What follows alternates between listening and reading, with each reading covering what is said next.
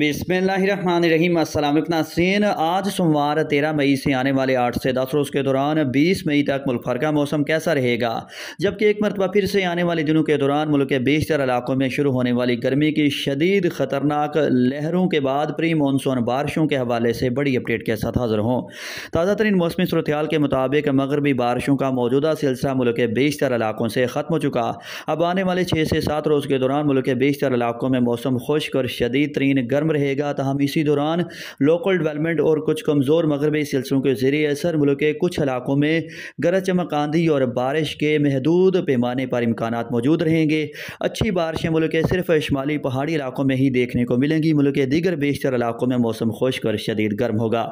تاہم ناظرین بڑا خطرہ یہ ہے کہ بیس مئی کے بعد اچانک سے ملک بھر میں گرمی کی شدت میں اور اضافہ ہوگا اور درجہ حرارت چھیالیس سے باون ڈگری سینٹی گریڈ تک پہنچ جائیں گے۔ اس لیے کسان شہری اس دوران محتاط ہو جائیں، کیونکہ گرمی کی یہ شدید لہر نظام زندگی کو کافی حد تک مفلوج کر سکتی ہے۔ اور موسم گرما دو ہزار چوبیس کی یہ سب سے خطرناک گرمی کی لہر ہوگی۔ تاہم، اس گرمی کی لہر کا ایک فائدہ بھی ہوگا کہ شدید گرمی کے بعد ملک کے مختلف علاقوں میں پری مونسون بارشیں معمول سے جلد شروع ہونے کا امکان ہے۔ مطلب اپنے علاقے کا موسم جاننے کے لیے شہر کا نام کومنٹ کریں۔ اللہ حافظ۔